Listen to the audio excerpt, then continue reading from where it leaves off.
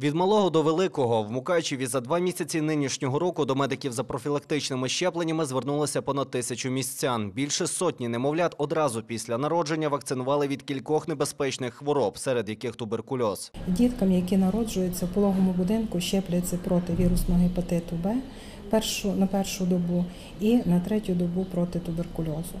Дітки, які не щеплені в пологому будинку з-за певних причин, щеплюються вже амбулаторно. Щеплення проводиться також від правця, дифтерії, кашлюка, поліеміліту, гемофільної інфекції та кору, паротиту і краснухи. Це є спеціальний календар про щеплень, і кожній дитинці ми проводимо щеплення у 2 місяці, 4, 6.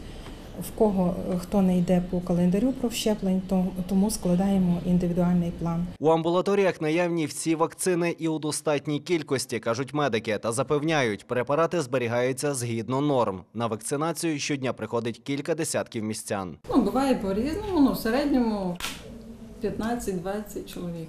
Буває і 40. Побічних дій після щеплень не фіксували. З усіх питань, що стосуються вакцинації, необхідно звертатись до сімейного лікаря. Після огляду лікар порекомендує і зазначить, які треба щеплення і коли запросить. Медики наголошують, чим більше діток щеплено, тим вищий колективний імунітет, тобто менше хвороб та ускладнень від них. Ваше здоров'я у ваших руках. Артур Іванчо, Йосип Фадяш, Сіріус Ньюс.